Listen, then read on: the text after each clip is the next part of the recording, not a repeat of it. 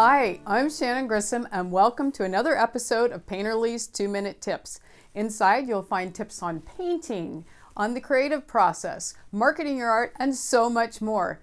Don't miss a thing. Please be sure to subscribe to my YouTube channel. Hi, guys. Today, I want to share my experience with Chroma Atelier Artist Interactive Acrylic.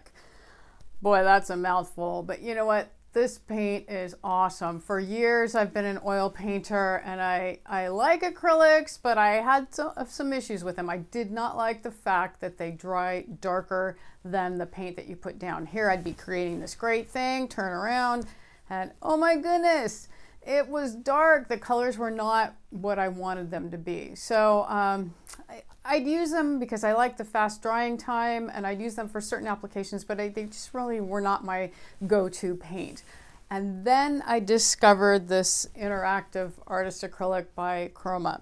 I love this stuff. The paint, when you put it down and it dries, it's the same color as when you put it down. It's really cool. So today I'm just testing them pretty much straight out of the tube, no medium. I'm going to put a blob down for each color and you can see that there is no difference between the dry and wet version.